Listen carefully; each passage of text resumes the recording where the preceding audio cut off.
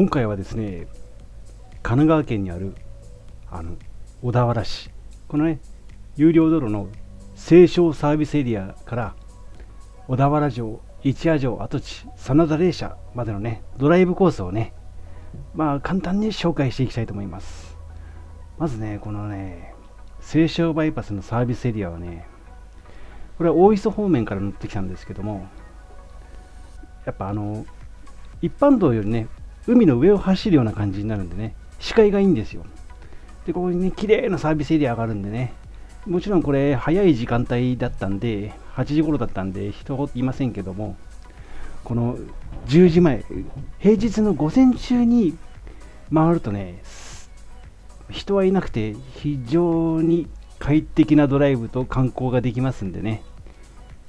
ぜひお試しください。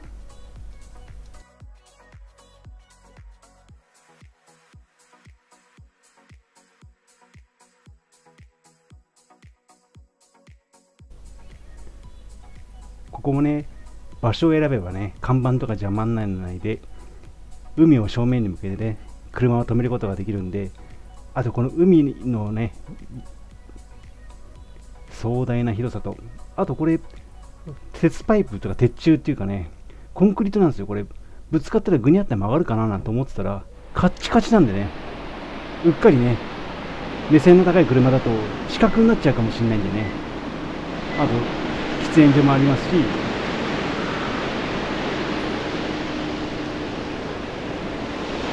この地は一番上10メートル。ねこのこの下にはね行くことはできないんですけど一般道からだと車では行けないんですけど歩いてなら行けるかもしれないですね。これあのタイムラプスですね。5分ぐらい撮影して30秒ぐらいのような。で早すぎてねお店とか開いてなかったんで紹介できなかったんですけども。空いてる時間に行っちゃうとやっぱね車数も増えちゃうと思うんでね。あえて空いてる時間帯を撮影してみました。そしてこれからまず小田原城に行きます。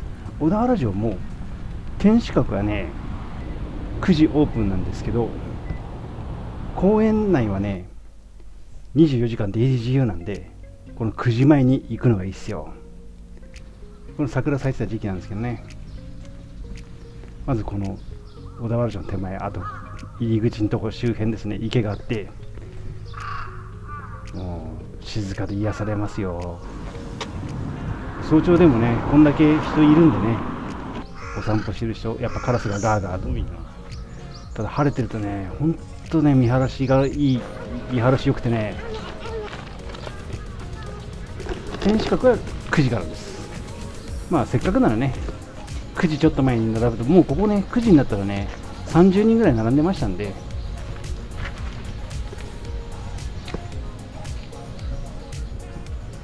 まあ、8時半ぐらい行ってぐるぐる回って9時頃ちょうど入るが空いてるかな。でも小田原城いいっすよね。そしてこの小田原城を見てるとあの天守閣入ってねいろいろお勉強すると一夜城に行ってみたくなるんですよ。これ天守閣の上から見たところですね有料ですけども一夜城がこっちの方だったかなどれだったっけかなちょっと忘れちゃいましたけどあのガイドに従うと一夜城跡地に行きたくなりますんで。でこれ見に行ってみたいと思いますんで次は一夜城の案内です。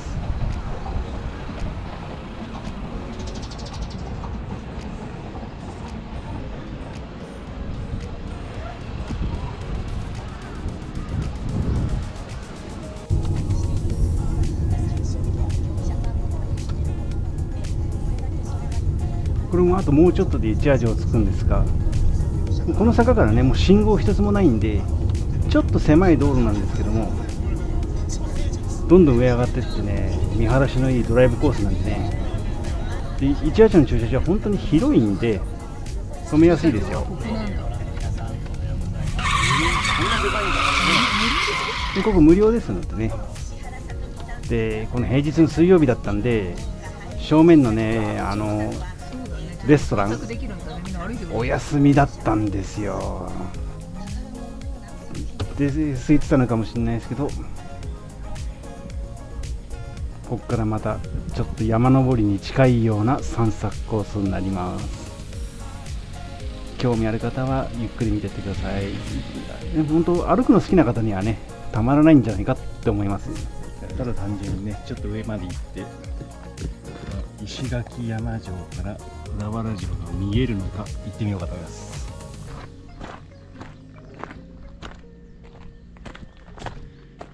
なんかこのウォーキングトレイルだってね。あこれ杖杖じゃないよ。これ竹持ってっていいみたいだ。ほう。で行ってみようかね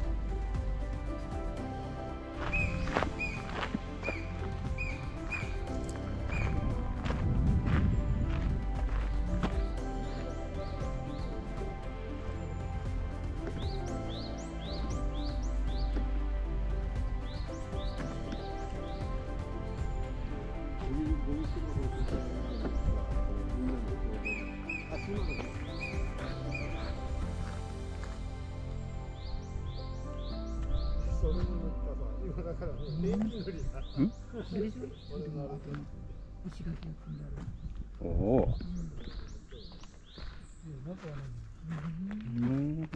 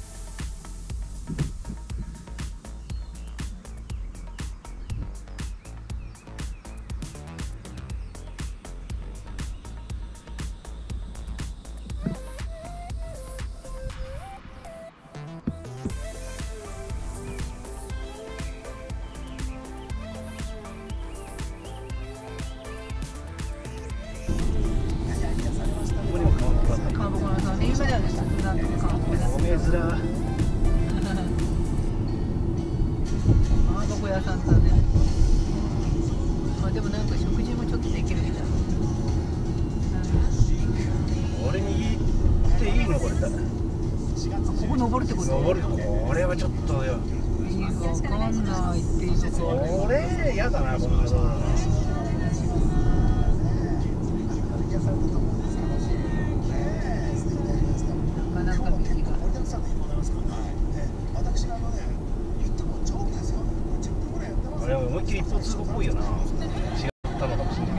んな。んかねあんまりねいろいろ感じはしな。かった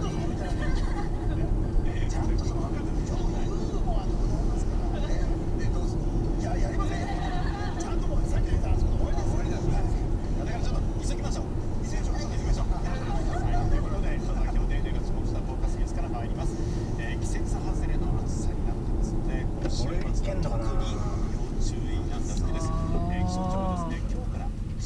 これっぽいなやだなこんなんな4月にもかかわらず熱中症を訴える人も、まあ、そんな中家電量販店ではちょっとよく見ながら行くしかないエアコンの割引商戦が始まっています。いはい薄手あるってこと言っていいんだよな。うんあったよ説ちょっとやだな。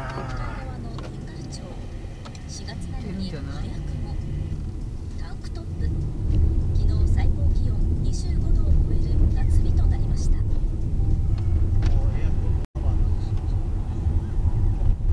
おおこんな停止線があるんだ昨日4月の最高気温これまたがぐるっと観測しすごい住宅があるんだね。北海道だけで14地点。青森県弘前市も24点。名所で知られる弘前公園は例年ゴールデンウィークに見頃は早くも多くのお花見客が。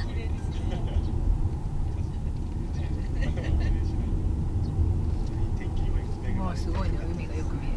幸せな家庭を築きたいと思います東京も5月中旬並みの気温にもうちょい走りますと左側にね曲がるとこがあるんですけどこのねもうちょっとですかね。右側海左側はせ線路。そしてその線路の上には山。このね山のてっぺん行ってみたいんですよね。なんて勝手に思ってるんですけどこれじゃね。うん道路がない以上ね昔今廃線だったのかな？伊豆の踊り子なんていうのがあったんですけどね。それとはまた違うのかもしれないですね。あこれですね。このね一時停止の標識の前がいけないかなこれ。かなり膨らんじゃってるんですよね。えー、怖い、来てないよな。うんこれちょっとためらっちゃいます。これかいな。こんな。どうえお寺っぽくないよ。なんか戦場跡って書いてあったよ、まあ霊社だからうん、石橋山古戦場三大霊社入り口だからこれでいいんじゃないの？あそうなんだ。ガリガリっていかねえよな。大丈夫だよな。ここに止めて歩いていく？ちょっとこれちょっと待ってこれやだよこれ。こんな道しかないの。ょっと待って見てみてあんまり車が来てねえからな。ちょっと乗ってるよ。ちょっと待って。うんこでうわちょっと違うよね行くところが。でもあれっぽいな。いい運転席からですね。ちょっとよく見えなかったんでしょうがないんで降りて一回戻って歩いて見に行ってなんとかなりそうだったんでね。車で行っちゃいます、まあ、交通量少なければいいですけどだからこれ後ろから車いたら焦って前行ってガリガリなんてやっちゃう可能性が十分にあるんでね。ためらないで。左側にね寄せなければあの右から左へゆっくり外回りにハンドル切っていけば上がれますんでここでちょうどね縁石じゃなくてこのコンクリートのとこぶつかりそうになるんで一回切り返してひとまず抜けたんですがまたこっからねえここ登っていくの？みたいな感じでね。なんか冒険心くすぐってどんどん行こうと思うんですけどね。ただ前方から来ちゃったらああああああってなっちゃうんでここはもう運ですかね。だから日曜日とかは避けた方がいいのかな。まあ地元の人しか通らないと思うんですけども。じゃあこのね Y 字路になったらこれ右ですね。あの看板ありますんで駐車場と出てますんで。まあ駐車場は広いんで。でこのね駐車場もちょっとねここ入っていいのってなんかね人んちのね土地みたいな感じで私有地じゃないかみたいなね駐車場って言ってもなんかもう空き地みたいな感じでえここ止めていいのみたいな印象だったんですが止めていいっぽいです。で平日でね誰か止まってりゃ止めていいんだろうななんて思うんだけども参拝者が私一人だけ1台だけだったんででも快適な観光を楽しんでいきますこの神社がねどんな作りなのか歩いていきます。登ってくんか。すぐ目の前ですのでね。これみかん畑このね坂道畑ですが。みかんこれ。みかんだな多分な。ごゆっくり。あこっちがみかんどうぞ。これもぜこれ全部みかんじゃない？知らんけど。多分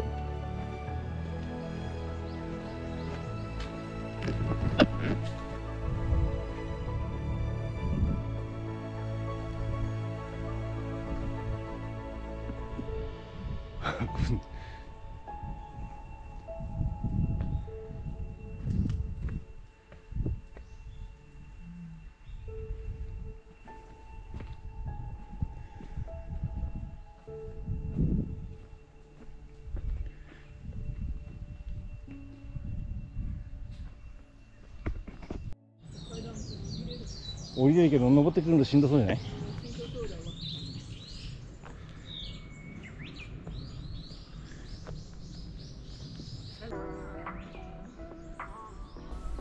実はこの時にね神主さんが話しかけてくれましてお寺のこととね地形をね詳しく説明してくれたんですよ。ただ撮影してた時は止めてくれってなっちゃったんで周辺を撮ってみました。これね歩いてみるとこね奥にどんどん進んでいくとありますんでこの階段降りるところですね。これ降りたはいいけど登ってくるのがしんどいんじゃないかと思って今回はやめちゃいましたけども。でふと思ったんですよね。あの神主さんがえーお魚屋さんをねこの紹介してくれたんでね。住職さん。に魚を食べに行くんだったらねこのお店を紹介してもらいました。どうやら地元の人しか行かないらしいタンパイク入り口の近くなんでね後で行ってみようかなと思って今るところです。今度はね食べるとこももうちょっとね紹介しながらドライブのねより楽しくなるように努力したいと思います。皆様ご視聴ありがとうございました。